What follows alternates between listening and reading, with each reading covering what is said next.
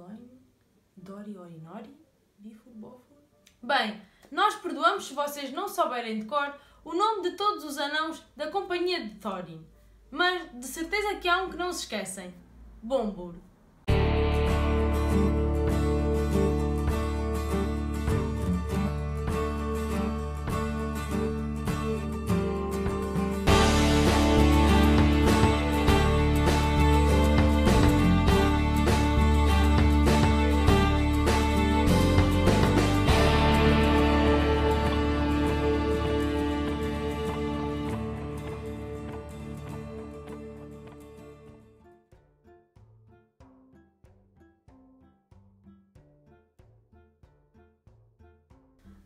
Tolkien Talkers e sejam bem-vindos a mais um vídeo aqui no canal.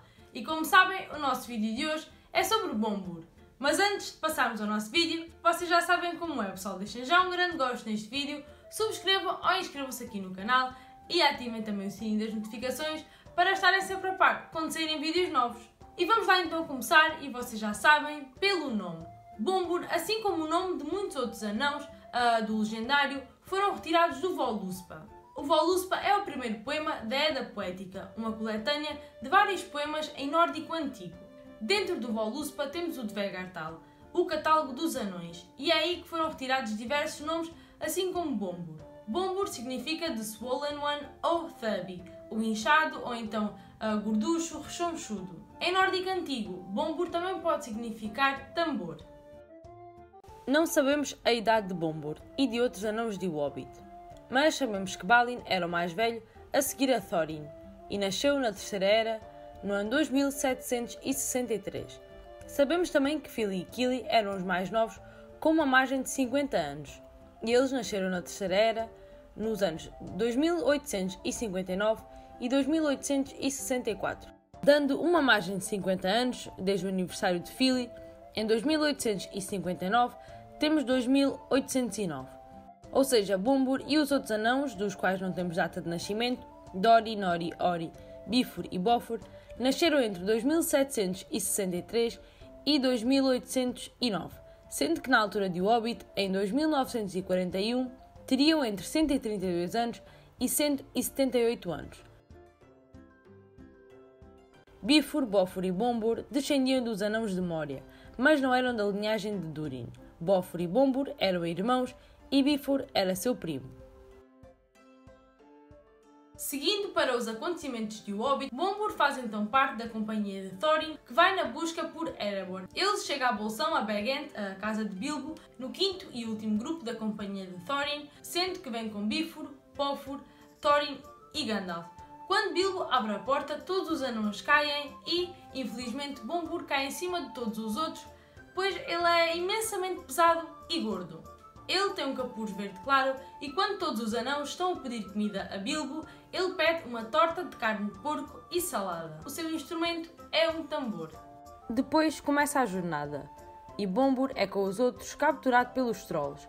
Ele, Oin, Gloin, Bifur e Bofur são empilhados desconfortavelmente perto da fogueira dos trolls, pois tinham dado muito trabalho a serem capturados. Mais tarde, quando eles fogem dos goblins, nas montanhas nevoentas, Bombur carregou Bilbo sempre a reclamar por ter de carregar hobbits enquanto suava de calor e de medo. Mais tarde, para escaparem dos Works, quando a companhia de Thorin decide subir a Pinheiros para conseguirem ficar a salvo, ele, Bifur, Bofur e Thorin ficam no mesmo galho. Na casa de Beorn, quando Gandalf pede aos anãos para virem em grupos com intervalos de tempo, Bombur era para vir em último e sozinho, visto que valia por dois anãos, mas acabou por chegar logo a seguir a Bifur e Bofur porque se recusou a esperar e a ser deixado para o fim. Mas na Treva Mata acontece algo que não é assim tão bom, ou ainda é pior do que aquilo que já tinha vindo a acontecer. Bombur cai no rio encantado. Beorn já tinha avisado os anãos para não tocarem nem beberem da, das águas da floresta, mas quando os anãos estavam a atravessar o riacho num barquinho, toda esta situação acontece. Desse modo, todos logo chegaram em segurança à outra margem, atravessando o riacho encantado. Dwalin tinha acabado de sair com a corda enrolada no braço e Bombur, ainda resmungando, estava se aprontando para segui-lo quando algo de ruim de facto aconteceu. Ouviu-se um som fugidio de cascos na trilha à frente. Das trevas veio de repente a forma de um cervo que fugia. Atirou-se em meio aos anãos e os derrubou. Depois preparou-se para pular. Entretanto, um grito terrível de Bilbo tirou da cabeça deles todos os pensamentos sobre carne de veado. Bombor caiu na água! Bombor está se afogando! berrou. Era verdade, infelizmente. Bombor só tinha colocado um pé em terra firme quando o cervo macho avançou na sua direção e saltou sobre ele. Bombur tropeçara, empurrando o barco para longe da margem e então desabara de costas na água escura, suas mãos escorregando nas raízes cheias de limo na beira do rio, enquanto o barco girava devagar e ia desaparecendo. Ainda conseguiam ver o seu capuz acima da água quando correram para a margem. Rápido, jogaram uma corda com um gancho na direção dele. Agarrou-o com uma mão e o puxaram até à margem. Estava encharcado do cabelo às botas, é claro, mas isso não era o pior. Quando o deitaram no barranco, já estava em sono profundo, com uma mão segurando a corda com tanta força que eles não conseguiram arrancá-la de seus dedos. E em sono profundo, ele permaneceu, apesar de tudo o que tentaram fazer. Durante seis dias, Bombur esteve a dormir e, à vez, quatro anãos tinham de o carregar. Quando Bombur finalmente acorda, ele não sabe onde está e a última coisa que se lembra é de estar em casa de Bilbo. Ele está faminto e quando os outros anãos e o Hobbit lhe contam tudo aquilo que aconteceu, ele nem acredita que está envolvido naquela aventura. Quando soube que não havia nada para comer, Bombor se sentou e chorou, pois se sentia muito fraco e de pernas bambas. Porque fui eu acordar, gritou. Estava tendo sonhos tão lindos. Sonhei que estava caminhando numa floresta bem parecida com esta, só que iluminada com tochas nas árvores e lamparinas balançando nos galhos e fogueiras ardendo no chão. E uma grande festa estava acontecendo, acontecendo sem parar. Um rei dos bosques estava lá, com uma coroa de folhas e havia um canto alegre. E eu não seria capaz de contar ou descrever as coisas que havia para comer e beber. No livro History of the Hobbit, uh, de John Ratcliffe, ele comenta toda esta questão de o sonho presente nas obras de Tolkien. Não podemos negar que a vida influencia a obra e Tolkien era uma pessoa que também sonhava. Ele teve diversas vezes aquele sonho em que o mar avançava sobre uma ilha que acabou lá está por ter influência na sua obra, como por exemplo na queda de Númenor.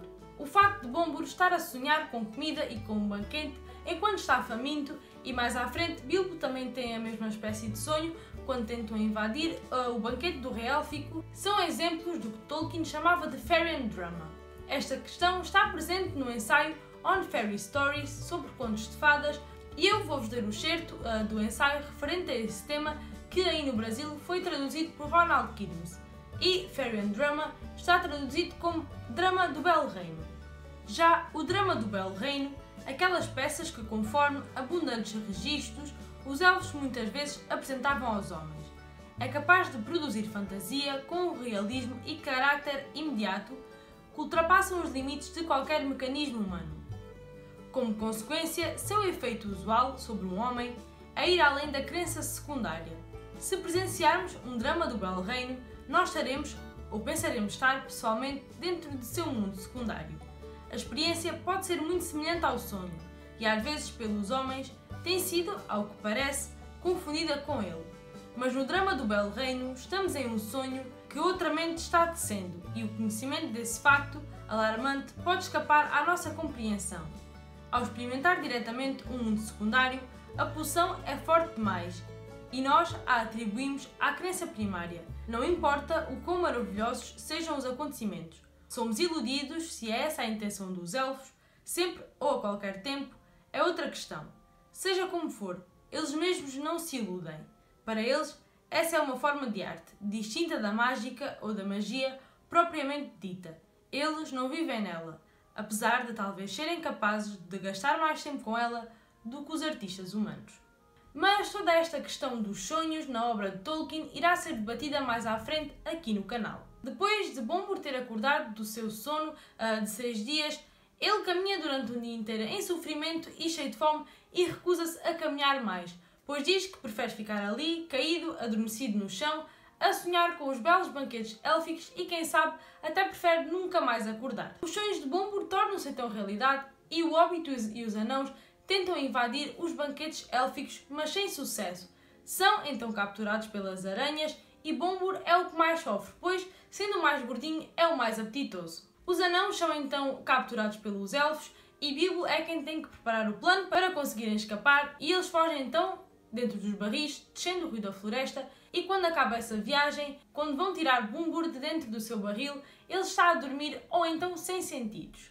Quando a companhia vai em direção da montanha solitária procurar a entrada secreta, Bofur e Bombur ficam para trás a guardarem os póneis e algumas provisões. Para trocar de turno em quem fica de guarda, Bombur recusa-se a subir por uma corda, pois diz que é gordo demais para isso e que irá acabar por se enrolar na sua barba. Mas acaba por ter de o fazer para entrar para dentro da montanha, pois Smog começa a atacar o lado de fora e cuspir fogo no local onde eles tinham acabado de estar. Apesar de estar sempre do lado de Thorin, Bombur e Fili e Kili são os que menos concordam com as ações de Thorin, especialmente quando Thorin reivindica a montanha para si e considera todas as outras pessoas suas inimigas. Bombur chama-lhe anão de dura cerviz. Bombur uh, consegue dormir em qualquer lugar, especialmente desde que teve aqueles belos sonhos sobre os banquetes élficos, ele só quer dormir para conseguir recuperar isso. E ele até estava a dormir quando os anãos finalmente descobriram a porta secreta, nem se deu em aceitar quando Bilbo lhe pede para trocar o turno de guarda quando Bombur está à porta da montanha Pois Bilbo diz que é ele que fica de guarda e assim Bombur pode dormir mais um pouquinho. Aí é quando Bilbo aproveita para escapar da montanha e levar a Arkenstone, a Pedra Arkan, ao Rei Élfico e a Bard. Bombur foi um dos sobreviventes da Batalha dos Cinco Exércitos e ficou então com a sua parte do tesouro e quando Dain Pé de Ferro se tornou rei sob a montanha, ele ficou então a habitar em Erebor. Mais tarde, em 3018, da Terceira Era, Frodo encontra Gloin uh, em Rivendell, em Valfenda, para o conselho de Elrond. Frodo pergunta a Gloin o que se tem passado na montanha e no vale e Gloin cita Bombur. Foi, no entanto, com interesse que ficou a saber que Dain ainda era rei debaixo da montanha e se tornara velho. Já passara os 250 anos. Venerado e absolutamente rico. Dos dez companheiros que tinham sobrevivido à Batalha dos Cinco Exércitos, Sete ainda se encontravam com ele: Dwalin, Gloin, Dori, Nori, Bofur e Bombur. Este engordara tanto que não podia ir do sofá para a sua cadeira à mesa e eram necessários seis jovens anões para o transportar. A obesidade e o excesso de peso é algo que Tolkien tem presente na sua obra e sempre com algum humor. Temos o Fredgar, Fatty Bulger, o amigo de Frodo, e também a personagem de Mr. Bliss, Fatty Dorkins. E também assim para o gorducho, temos dois heróis, o próprio Bilbo Baggins e o mestre Gildiam. Durante a evolução da história do Hobbit, o parentesco entre Bombur, Bifur e Bofur foi sendo alterado, sendo que eles os três chegaram a ser todos irmãos, ou então Bifur e Bofur eram irmãos e Bombur era apenas seu primo. O parentesco entre eles acabou por ser Bofur e Bombur eram irmãos e Bifur era seu primo. Na versão não acabada de O Hobbit de 1960, uh, que Tolkien estava a escrever e que seria então uma versão mais adulta de O Hobbit, uh, temos que Bifur, Bofur e Bombur eram como que guardas do rei, serventes uh, de Thorin. Na versão publicada isso não está presente, mas temos alguns indícios disso, como por exemplo quando Thorin chega ao Bag End, a Bolsão, ele chega acompanhado de Bifur, Bofur e Bombur. E também quando eles uh, escapam das Montanhas Noventas e estão a fugir dos Wargs, uh, quando sobem para cima de pinheiros, Bifur, Bofur e Bombur sobem com Thorin para cima de um pinheiro.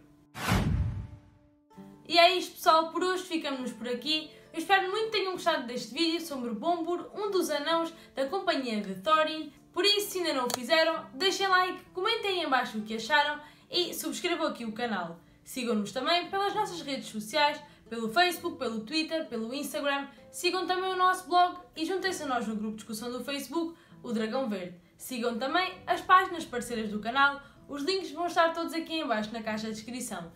E têm mais duas formas de poder ajudar o canal. Pessoal aí no Brasil, se quiserem comprar livros através da Amazon, façam-no utilizando os links do TT. E também se podem tornar padrinhos ou madrinhas aqui do canal, ajudar com uma certa quantia monetária e sem qualquer compromisso.